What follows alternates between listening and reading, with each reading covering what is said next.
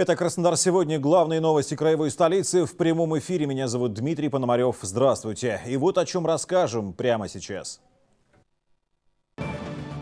Краснодарский краевой суд возглавит новый председатель. На торжественной церемонии, кроме поздравлений, звучали и важные задачи, которые отныне будет курировать Алексей Шипилов. Вторичные проверки на принадлежность к истории ждут все аварийные дома краевой столицы. Решая одну задачу – сохранность исторического наследия, важно не навредить другой – переселению горожан безопасного жилья. Лобовое стекло напомнит о недоплаченных налогах. В западном округе краевой столицы начался рейд по должникам за землю, авто и недвижимость. В детский сад, чтобы учиться и консультироваться. Трем дошкольным учреждениям города выделят субсидии для открытия центров помощи родителям. Начну выпуск с важной новости. В Краснодаре полиция разыскивает молодую маму. Накануне возле одного из подъездов жилого дома по улице Ленина местные жители обнаружили новорожденного ребенка, которого отнесли в ближайший родильный дом. Как позже выяснилось, этого малыша неизвестная женщина перед тем, как бросить на улице, попыталась положить в бэби-бокс, но попытки не увенчались успехом. По техническим причинам окно бэби-бокса в данный день не функционировало, при этом женщина не стала обращаться к медикам для передачи им ребенка и оставила его в ближайшем дворе. По ребенка мужской его возраст э, примерно составляет 5-7 дней. В настоящее время его жизни и здоровью ничего не угрожает. Э, также с учетом определенных следов, в том числе оставленных в результате прививок, сделан предварительный вывод о том, что родился мальчик в условиях родильного дома. По данному факту сейчас проводится проверка, устанавливается личность указанной женщины, действия которой могут быть квалифицированы как оставление ребенка в опасности, за что предусматривается уголовная ответственность вплоть до одного года лишения свободы. Кстати, в Краснодаре два бэби-бокса, и чтобы не подвергать жизнь младенца опасности, можно было оставить его в другом. Если узнали женщину и вам известно, где она находится, убедительная просьба сообщить об этом в полицию по телефонам, которые вы сейчас видите на экране.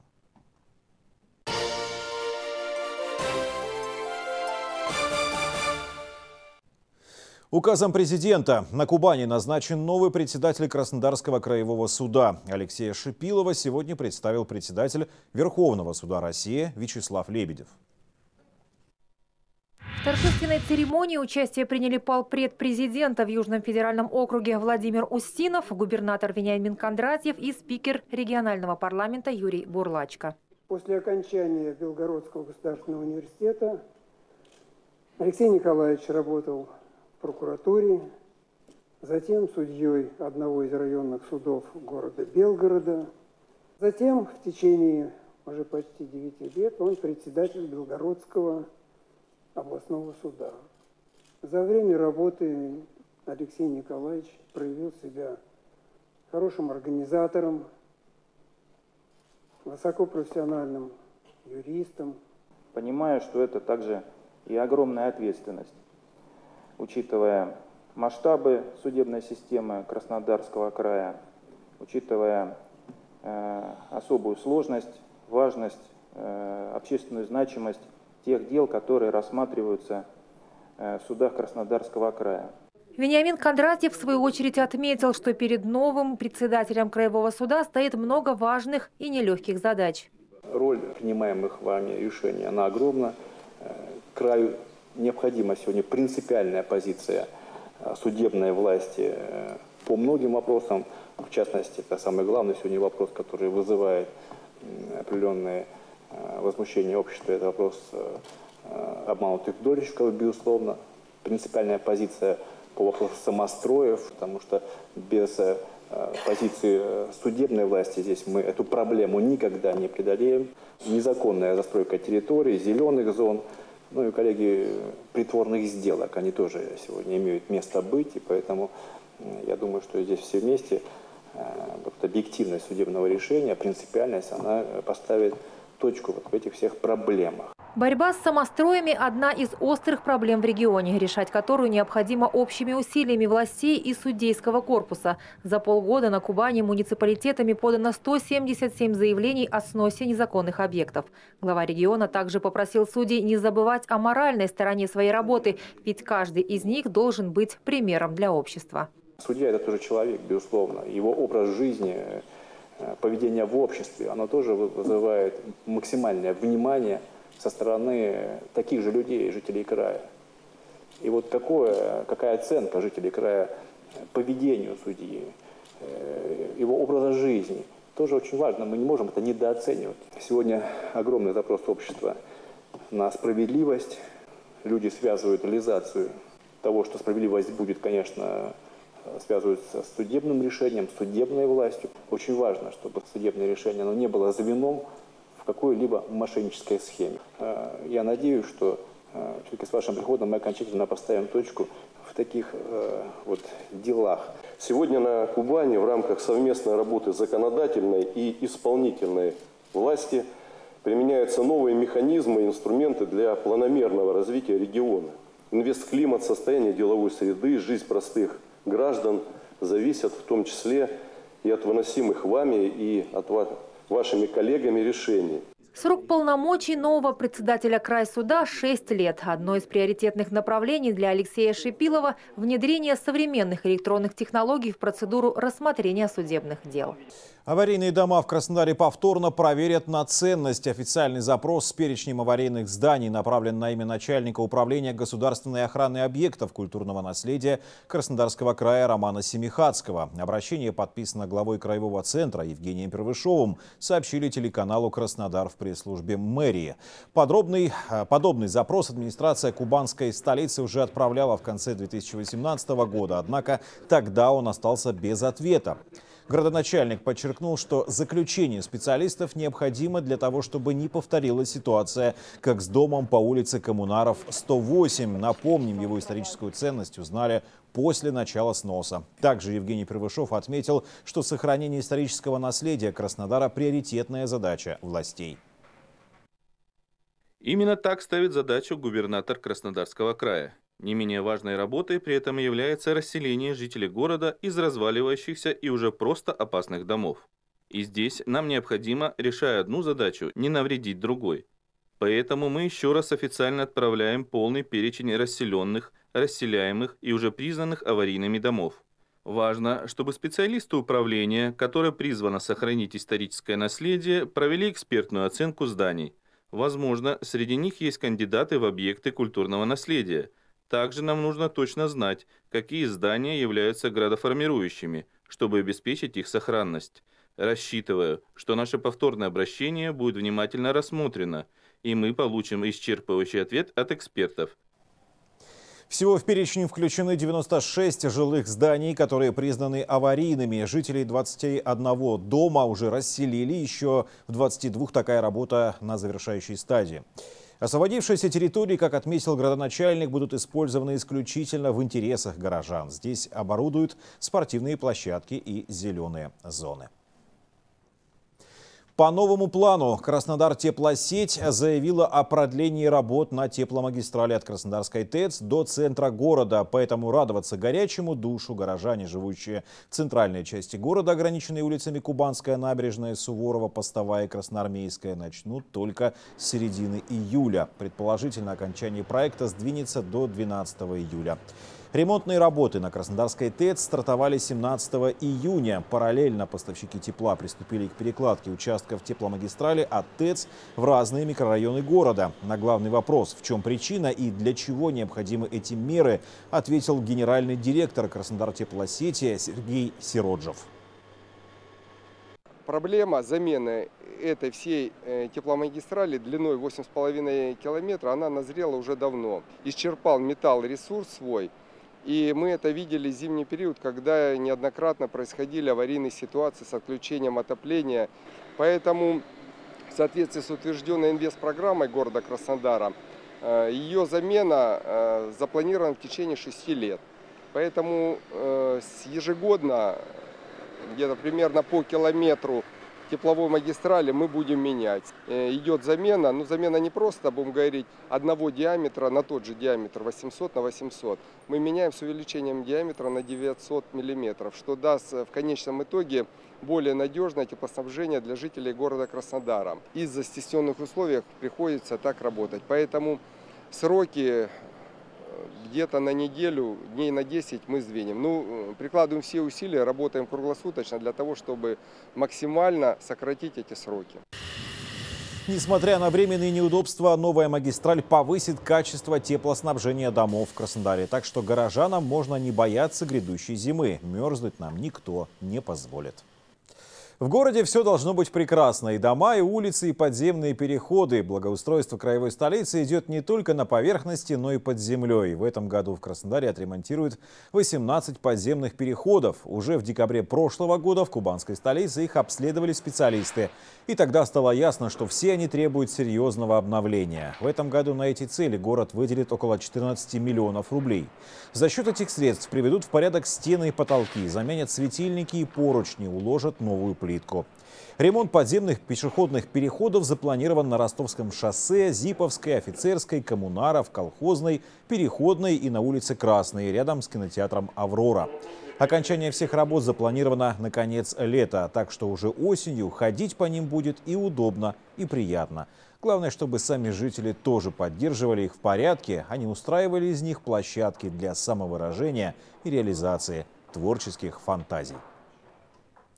Впервые за два десятилетия в Краснодаре появится новая трамвайная линия. Ветка длиной в 5 километров пройдет по улице Московской от Солнечной до Петра Метальникова. Такое решение сегодня было принято на 76-м заседании городской думы Краснодара, и его уже назвали историческим. Парламентарии выделили на проектирование путей 32 миллиона рублей. Депутаты также согласовали реорганизацию структуры мэрии. В ней выделили новое подразделение управления контроля и протокола. Все подробности в сюжете. Новое подразделение администрации Краснодара возглавил 29-летний Дмитрий Медведев. Ранее он работал помощником главы Краевого центра. О необходимости создания нового подразделения рассказал глава Краснодара Евгений Первышов.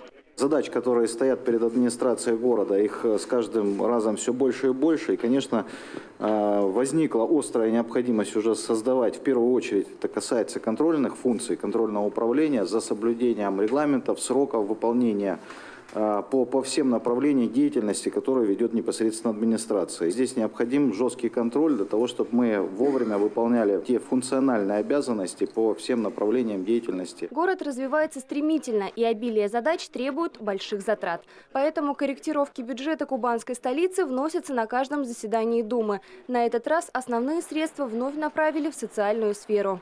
155 миллионов на строительство учреждения дополнительного образования в Карасунском округе. 225 миллионов мы выделили департаменту строительства на строительство школы в поселке Изобильном. Также мы выделили средства на снос ветхого жилья, порядка 10 миллионов. 56 миллионов на содержание и развитие дорог местного значения. Еще одно финансовое решение – нужное, но вынужденное. Краснодар тонет в мусоре на заваленных контейнерных площадках. И чтобы очистить их, из городской казны пришлось вынуть более 100 миллионов рублей, которые можно было использовать с большей пользой. Но нерадивые горожане не оставили выбора. Люди почему-то у нас не видят контейнер, куда надо бросить мусор, а бросают вокруг контейнерной площадки. Более того, хотелось бы обратиться ко всем жителям города Краснодара, которые выполняют ремонтные работы. Для того, чтобы убрать крупногабаритный строительный мусор, необходимо заказать специальную тару для того, чтобы его собрать оплатить за это и вывести его в надлежащее место. Еще одно решение парламентариев без преувеличения можно назвать глобальным. На заседании внесли более десятка изменений в генплан. Парламентарии зарезервировали земельные участки под будущие школы, детские сады, поликлиники и спортивные объекты. Самый масштабный выделен в районе поселка Знаменского. На площади в полторы тысячи гектаров решено разместить уникальный социальный кластер. Планируется построить несколько десятков общеобразовательных учреждений, дошкольных учреждений, объектов эм, теплоснабжения, то есть станция будет электрическая ТЭЦ, э, даже кладбище, крематорий. То есть это будет зона такого комплексного развития, целое поселение. Всего на заседании рассмотрели 34 вопроса, в том числе ход реализации госпрограмм. В Краснодаре сегодня их действует 13, и они охватывают все сферы городской жизни. В нынешнем году на них запланировано в общей сложности более 14 миллиардов рублей, и почти все задачи выполняются точно в срок. Несколько объектов, которые подрядчики задержали, будут завершены в течение месяца. Кристина Сорокина, Марина Богданова, Иван Жалнин, телекомпания «Краснодар». Вирусов в воде нет. Эпидемиологи не нашли в пробах питьевой воды поселка Краснодарского никаких элементов, которые могли бы повлиять на состояние жителей кубанской столицы. Напомним, накануне местные жители сообщили о более чем 20 случаях острой кишечной инфекции. Подозрения пали на питьевую воду. Специалисты Роспотребнадзора не обнаружили вирусов в пробах воды. На данный момент мы можем сказать, что в пробах питьевой воды нет энтеровирусов, норовирусов, вызывающих ухудшение состояния человека. Результаты бактериологических исследований пока неизвестны. Мы провели опрос среди пострадавших. Большинство из них сказали о том, что вода была мутная, имела неприятный запах. Точные результаты проб будут известны в лучшем случае поздним вечером сегодня, 27 июня. При этом Следственным отделом по Прикубанскому округу Краснодара возбуждено уголовное дело по статье об оказании услуги, не отвечающей требованиям безопасности жизни и здоровья потребителей. На тему человеческой сознательности решил поговорить в своем авторском проекте «Внимание, Шулепов» Алексей Геннадьевич сегодня. А сознательность она ведь какая? Не только дверь придержать, улицу подсказать, на стенах не рисовать, но и не гадить, не гадить там, где живешь. Вчера в своих эфирах мы рассказывали о стихийных свалках на одной из центральных улиц города. Так вот, продолжим эту историю. Еще 100 миллионов рублей город, внимание, вынужден выделить на ликвидацию стихийных свалок. Лично мне это не нравится, но я понимаю, что другого выхода нет. Если это не сделать сейчас, то потом этот мусор будет вывести намного дороже, если он окончательно не поглотит наш город. А может, если ничего не делать. Вы спросите, чего это я так волнуюсь? Деньги не мои. Так вот как раз мои, точнее наши мои, твои, соседа, города. Деньги это бюджетные, их можно было потратить более рационально на нас с вами или на наших детей. Это те деньги, на которые мы могли, например, благоустроить несколько зеленых зон, построить спортивные площадки, физкультурно-оздоровительные комплексы. Фактически, с учетом выделения дополнительных 100 миллионов рублей, бюджет города вынужден будет потратить в 2019 году на вывоз строительного мусора, старой мебели и прочего хлама сумму в 150 миллионов рублей. Это уже стоимость строительства полноценного детского сада не менее чем на 150 мест. Обратили внимание, за что придется заплатить? Строительный мусор – для его вывоза строители или, если хотите, ремонтники должны по закону заказать контейнер. Кстати, это стоит недорого. Но кто этим будет заморачиваться? Проще вынести на ближайшую мусорную площадку, а там будь что будет. И самое печальное, сейчас лето, а значит ремонтов будет и есть много. И горы строительного мусора будут расти. Или, например, старые автомобильные покрышки. Их вообще выбрасывать нельзя. Их можно и нужно утилизировать. Но опять же, кто об этом заботится? Это когда они новые, их моют, чистят, аккуратно складывают на балконе, в гараже или в кладовке, а когда старые – на мусорку, с глаз долой и сердца вон. Зачем платить за их утилизацию? А еще старая мебель. Ее тоже на контейнерную площадку выносить нельзя – Подобный мусор утилизируют специальные службы. Они же сами и выносят ее из дома. Но да, за это придется заплатить, а платить мы не любим. Хотя платим. Как говорится, за себя и за того парня. Платим опосредованно, через бюджет, через непостроенные детские спортивные площадки, через неблагоустроенные скверы, через тот же детский сад, о котором говорил глава. Но есть и еще разновидность мусора, за которую мы с вами платим дважды. И это вдвойне обидно.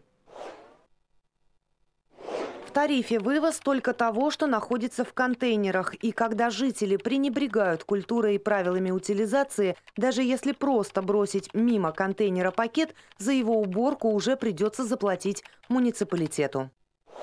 А заплатить муниципалитету – это, еще раз напомню, заплатить нам с вами. Заплатить второй раз, потому что первый раз мы заплатили в платежке за вывоз ТКО. И вроде каждый из нас по отдельности готов за чистоту бороться, а вот всем вместе не получается, как в мультфильме о белой льдинке.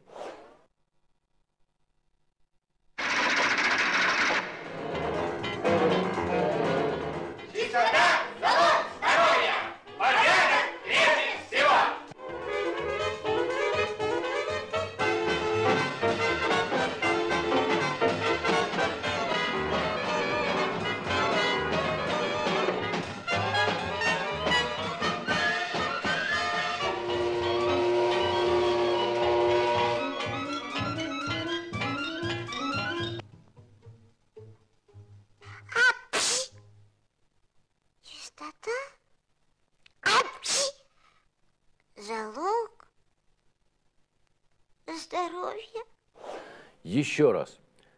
100 миллионов или один детский садик. Вот цена нашей безответственности и эгоизма. Нет, можно, конечно, поставить видеокамеры на контейнерных площадках и штрафовать тех, кто нарушает правила, как многие предлагают. Согласен, можно, но, боюсь, проблему это не решит. Пока мы будем следить за мусорками, мусор будут выкидывать в других местах. Потому что, как говорил профессор Преображенский из «Собачьего сердца», внимание, разруха не в клозетах, разруха в головах. Мы продолжаем наш информационный час, и вот что будет далее в выпуске. Лобовое стекло напомнит о недоплаченных налогах. В западном округе краевой столицы начался рейд по должникам за землю, авто и недвижимость. Не выше трех метров, не тяжелее четырех тонн. Зеленый свет на Яблуновском мосту будет гореть только для легковых автомобилей. Проясним ситуацию. Антонина Горбунова, она же Алена Верди, остается в СИЗО до конца июля. Выяснилось, что ни один вуз не подтвердил образование лжехирурга.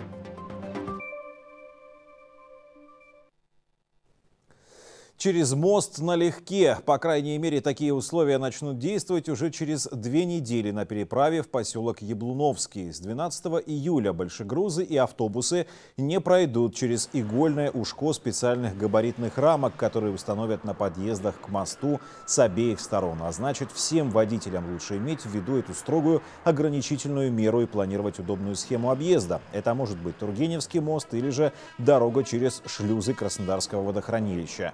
Решение не пускать транспорт выше трех метров и тяжелее четырех тонн на Яблуновский путепровод было принято неспроста. Технические характеристики моста уже не соответствуют все возрастающей нагрузке. Запрещающие знаки на подъездах уже давно установлены, но с ними мало кто из водителей считается, сообщает администрация города. Это решение было обсуждено на совместном заседании группы с, где присутствовала администрация муниципального образования город Краснодар, представители Министерства транспорта и дорожного хозяйства края, Республики Адыгея, ГИБДД Республики Адыгея и Краснодарского края и э, Тахтамукайскому району. Соответственно, на подъездах со стороны Краснодара и со стороны Республики Адыгея будет установлен ряд информационных стендов, информирующих о вводимых э, ограничениях. Сейчас идет работа по корректировке маршрутов пригородных, э, межмуниципальных и междугородних автобусов. Жесткое ограничение будет действовать постоянно. Зеленый свет на этом пути только легковым авто. Общекраевой бал выпускников состоится уже в эту пятницу. Во время праздника в Краснодаре перекроют несколько центральных улиц. Виновники торжества пройдут по Красной до Казачьей площади, где и состоится долгожданное танцевальное событие. Для безопасности бывших школьников в этот день с 18 часов до 21 часа будет перекрыта главная городская улица от Карасунской до Советской. С 14 до часу ночи проезд ограничит э, по Красной от Советской до Кондратенко. Объезжать придется и улицу Постовую от Захарова до Октябрьской.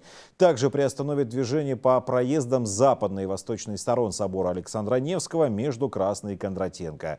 Еще в пятницу с 6 утра до 19.30 от Маш машин освободят улицы Ленина и Гимназическую от Красноармейской до Рашпилевской. 28 июня до полуночи перекроют улицу Пушкина от Рашпилевской до Красноармейской и Рашпилевскую от Советской до Пушкина. Участниками торжества станут почти две с половиной тысячи самых талантливых, умных и спортивных юношей и девушек, лучших выпускников кубанских школ. В продолжении темы транспорта дубликаты уберут. Из пригородных поселков в кубанскую столицу каждый день едет несколько десятков автобусов и маршруток. Многие из них повторяют остановки друг друга. Например, поселок Березовый обслуживают 67-й, 105А, 106А, 182А, а еще и 183А. В часы пик целых 85 автобусов, следующих сюда, могут привезти более тысячи пассажиров. Эта непомерная нагрузка на городской транспорт не оправдана, поэтому решено было 183А с маршрута снять. Данное мероприятие нацелено исключительно на развитие транспортной инфраструктуры города Краснодара в целом.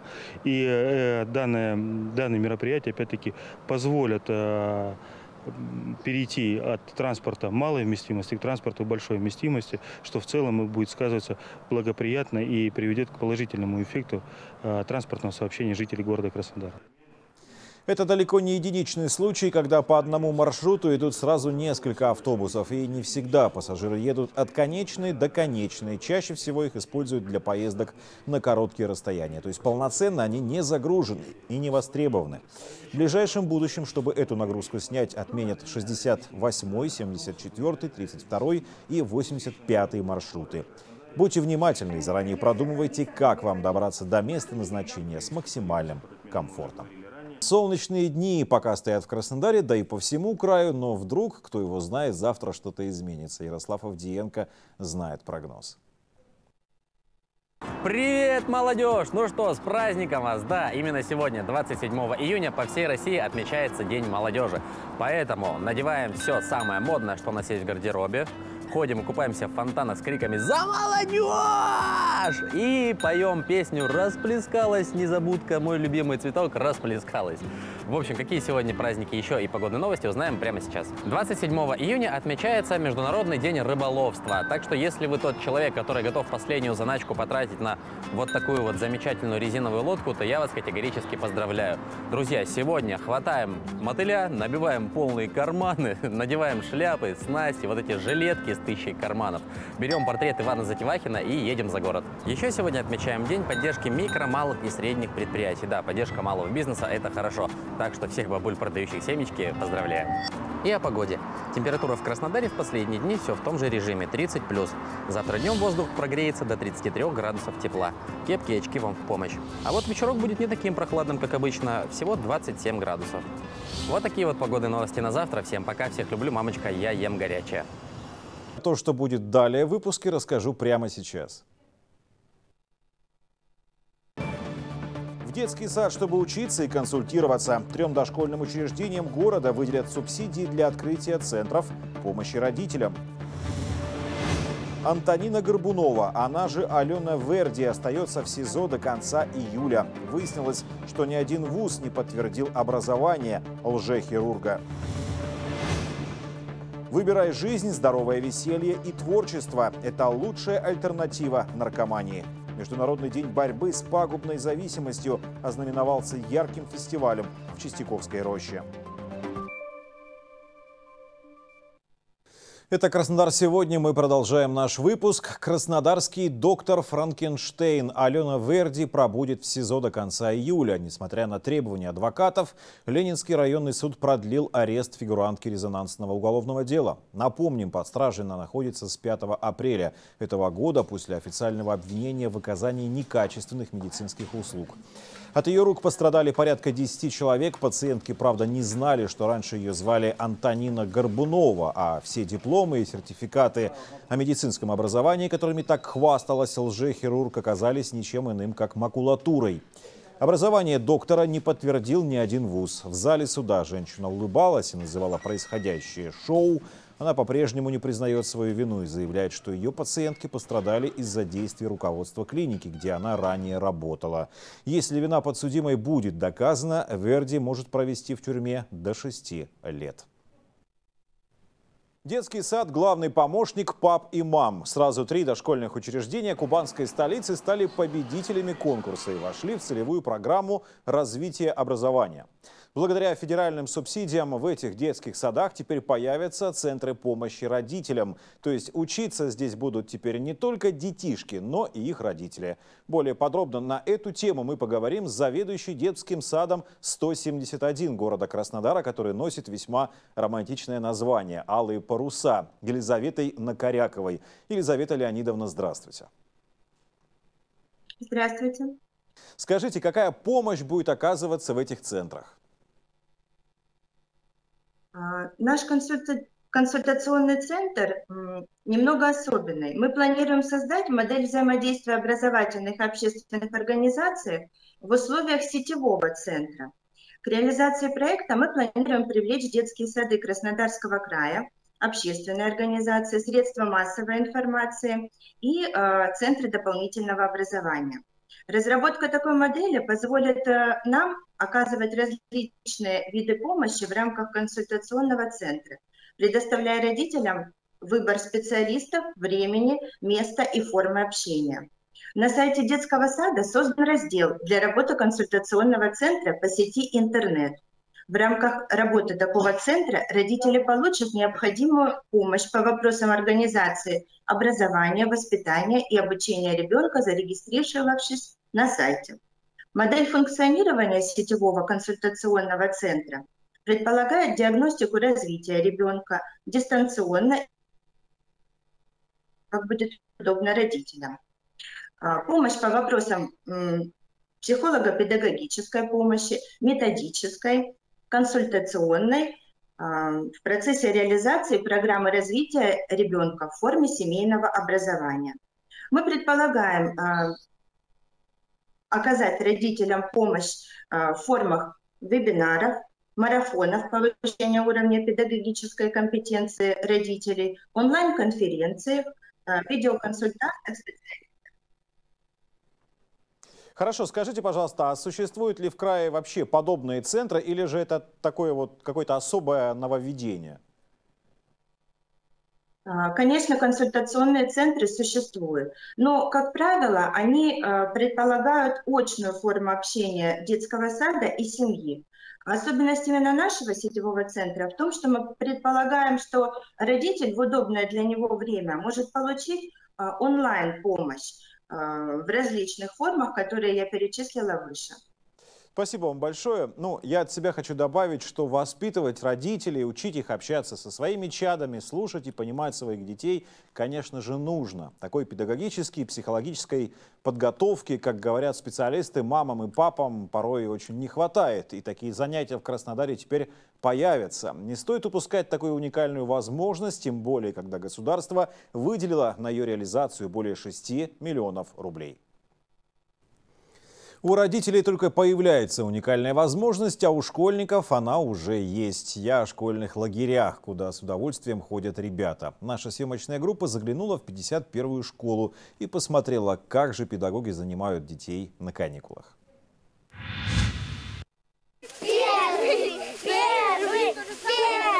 С утра любимые веселые старты заряжают детей на новый день. После разминки дружным строем ребята отправляются в классы играть и общаться. Для сотрудников 51-й школы организация летнего досуга учащихся – дело привычное. Уже несколько лет пришкольный лагерь «Звездочка» открывает свои двери на каникулы. Здесь заранее готовят для ребят конкурсы и активные игры на сплоченность. Педагоги даже сделали экран настроения, чтобы дети могли поделиться впечатлениями о проведенном в лагере времени.